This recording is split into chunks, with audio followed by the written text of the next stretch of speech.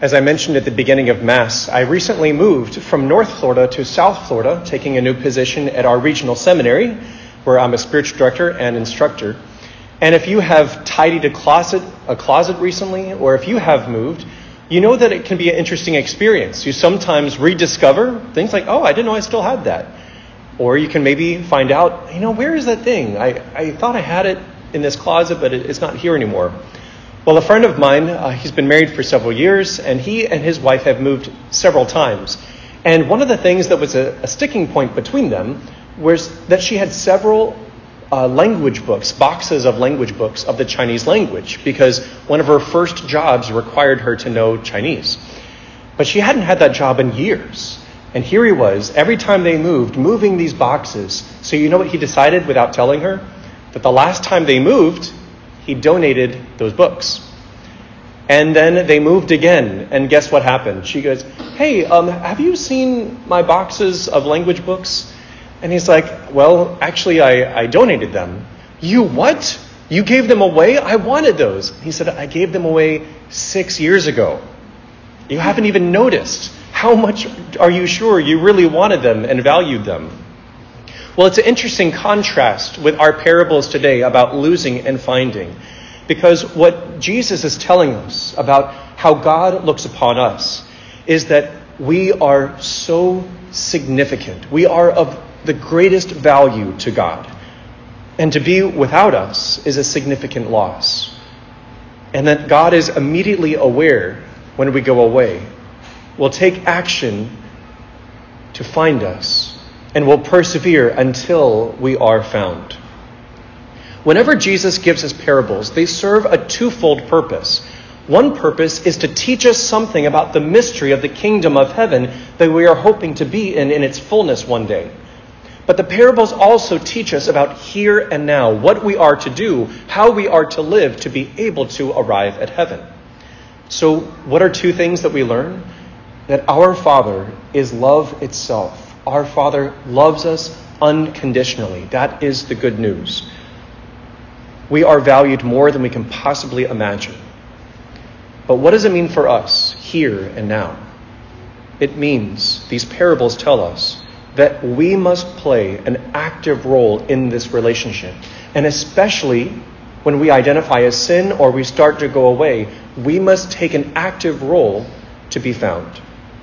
Now, you may say, well, of course, Father Kevin, everyone knows that. And who would possibly refuse the invitation to be more deeply immersed in God's love and mercy? But I'll give you three reasons that may hit close to home that we're blind, we fall into blame, or we're overwhelmed by shame. Let's look at blindness first. Consider the Pharisees. They were so comfortable living in their own interpretations of justice and mercy and did not believe they had any need for mercy. And because they were blind, they did not ask. And because they did not ask, they did not receive. But as we heard in our second reading, we cannot save ourselves by our own righteousness. We need a Savior, each and every one of us, and that is the primary purpose why Jesus came to save everyone. And the second reason is that we fall into blaming. Well, if only other people or other things or other events hadn't gotten in my way, I would be a better disciple, or I wouldn't be as in debt to God and to others. Maybe it's they, they're the ones that need to be reconciled, not me. And as long as I stay in that mindset, I won't participate in my own deepened conversion. Now, I don't know what thoughts the lost sheep had, but let's just use our imaginations. What if we could imagine what the lost sheep was thinking when he found out that he was lost? Might he have thought, well, if only the shepherd had spoken more loudly, then I would have heard him and stayed closer to him. If only the shepherd had walked slower, then I could have kept up with him. If only the path didn't have so many twists and turns and side paths, then I wouldn't have gotten lost. You see the pattern here? Maybe in light of our first reading from Exodus 32, if only Aaron and others hadn't created that idol, well, then I wouldn't have fallen into false worship. But what might blaming look like in our life? I invite us all just to consider our own story and our own hearts first and foremost. Well, if only the church had fewer hypocrites. If only my parents would have given me a better example. If only the priest pe- preached better homilies. If only that traumatic event in my life hadn't happened. If only there had not been COVID. If only that other person hadn't led me into sin. Then I would be so much better off as a disciple of Jesus. I don't need to go to confession. There are worse sinners than me that need to go to confession first. You know, things do happen to us, and sometimes tragically, but those events don't have to define our life or our story. And we have to take an active role to make sure that God's mercy is defining of our story. There's a beloved priest in Florida, Monsignor Sipple, and he phrases it this way That thing that happened to you, whatever that is, it may not be your fault, but it is your problem. Meaning, it happened and it's affecting me. It may not have been my fault, but I need to take an active role in managing it or resolving it and working with the help of God's grace. And then the third obstacle to receiving greater mercy is shame. That's when we run from the truth. We run from ourselves. Maybe others weren't at fault, but I definitely was not at fault. We deny our responsibility. And we can't stand feeling like we've done something wrong. So we convince ourselves that we're completely innocent or that we are helpless to change our situation. I don't think the lost coin had any thoughts, but if it did, the lost coin might have given into the shame or helplessness, thinking, Well, I'm just a coin. I can't help being lost or found because I can only go where others take me. And I can't help if they drop me and I roll under the dresser. I'm just a coin. I can't find my way back to the purse. I'll just wait here and be here until someone comes and gets me. I'm just a small coin. What am I in the big scheme of things? There are other lost items much more important than me that, that deserve the attention of God and others. So, what might this sound like in our life, in our own thoughts? Well, if God really wants me, if He wants me to be more deeply converted, then He's going to have to come and find me. And unless He sends an angel or a lightning bolt, I'm just going to keep on my merry way, doing what I'm doing, and trusting that that's good enough for God. I don't need to change. Or it could be, well, I don't need to repent now.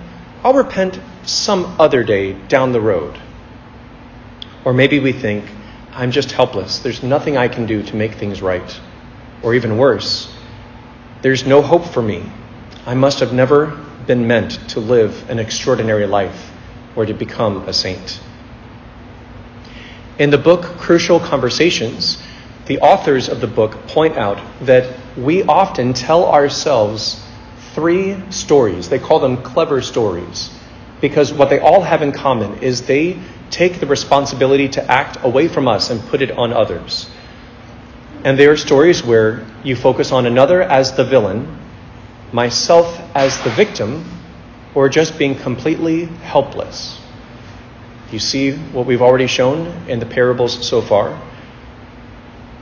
We can tell ourselves these very stories. I did nothing wrong. I'm just being punished or persecuted, and there's nothing I can do about it. The authors warn us of making the fool's choice that's the all or nothing, the either or.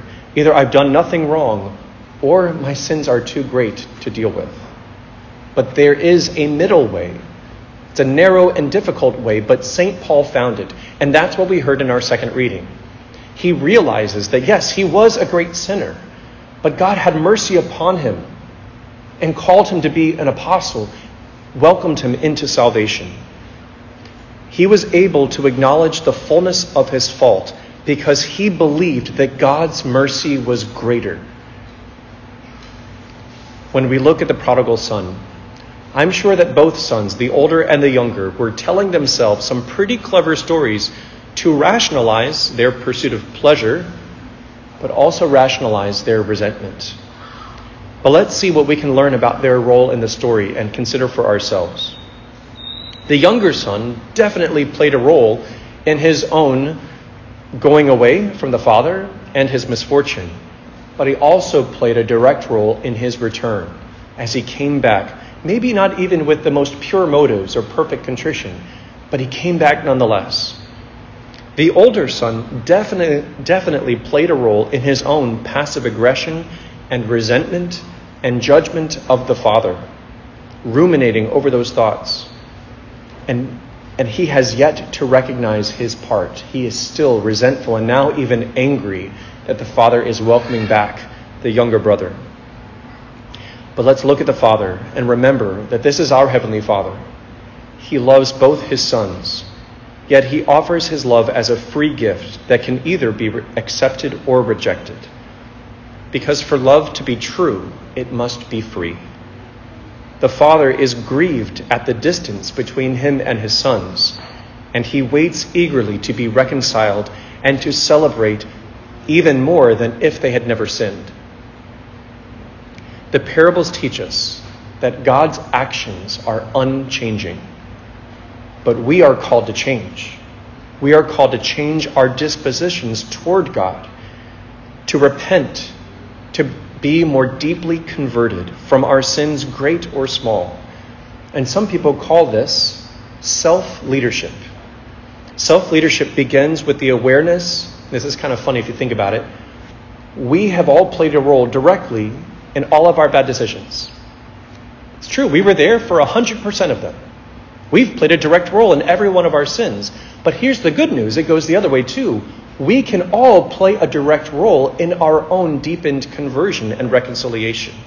Just as we have been part of the problem, we must be part of the solution. So, this is really about personal accountability to these truths and to first and foremost lead ourselves cooperating with God's grace. So, what are three resolutions we can make to lead ourselves back to the Father? Number one is to make a commitment to ourselves I will not lie to myself even when being honest makes me feel bad or guilty about myself. We can't lead ourselves when we're not being honest, and we can be our own best deceivers. We must ask ourselves, what do I really want? And is what I'm doing according to what I really want? So, this brings us to our second commitment that I will prioritize what I value most over what I want right now. That's putting the ultimate goals and values of your life over today's satisfaction. Rarely is what we want today consistent with deeper, more meaningful, long, longer lasting goals. And here's the thing you may say, well, I don't really know what I, what I value most. But I can tell you, I can promise you, you know when you will figure that out? On or right before your funeral. That's when everyone will come to know what they valued most. When they're looking back at their life and it's already been lived, we will realize that we either did live according to our convictions and our beliefs or we did not. So the, the author Stephen Covey in the seven, seven Habits of Highly Effective People says, so begin this day, begin the rest of your journey with the end in mind. Look forward to that. Ask yourself, what do I want to be able to say genuinely about the way that I lived? Not my intentions, but my actions. Or you can ask yourself, what do I want my spouse, my family, my children, my loved ones, and friends, what do I want them to be able to honestly say, not just the nice things that we say when someone passes, but truly and honestly, what do I want them to say about how I lived? Take a few moments and ask yourself those questions and write it down. I did this yesterday morning to refresh that practice. So I try to practice what I preach before I'm asking you to do it. And it is, it's very fr- fruitful. I think the Holy Spirit is working with our heart and our mind as we write those things down to really hear what we value most.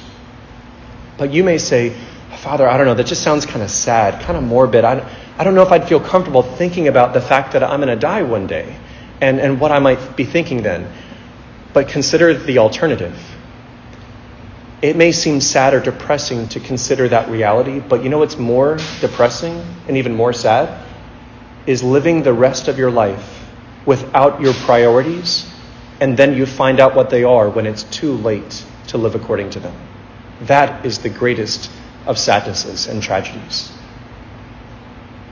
The third and final commitment we can make to ourselves is I will not attempt to lead myself by myself.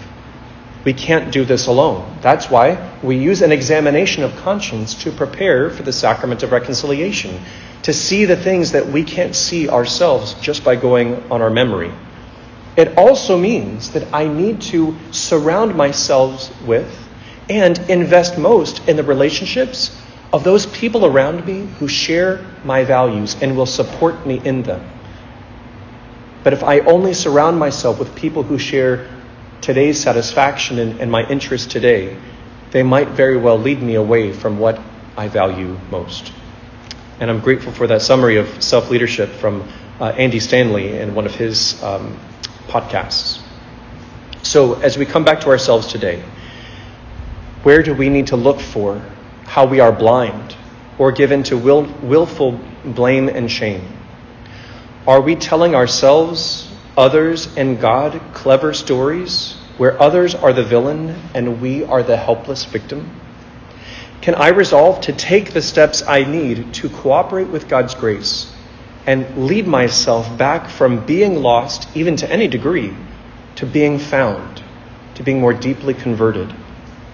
Can I commit to being honest with myself, to prioritizing my values and to live by them?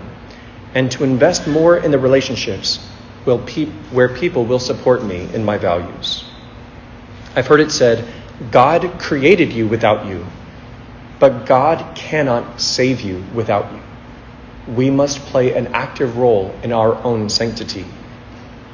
Even if we were to find ourselves dead in our sins like the prodigal son, we can come back to life. We can be restored to our baptismal dignity as sons and daughters and heirs to the heavenly kingdom and the sacrament of reconciliation, which the Catechism also describes as the sacrament of resurrection. It restores us, restores us to spiritual life.